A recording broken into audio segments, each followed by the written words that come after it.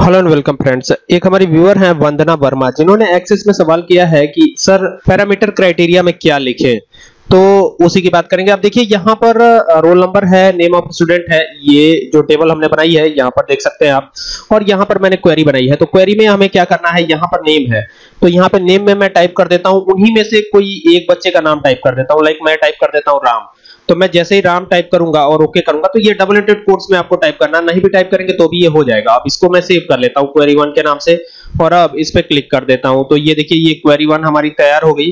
और अब यहाँ पे क्वेरी को अगर रन करवाएँगे तो केवल राम की डिटेल आएगी, ठीक है?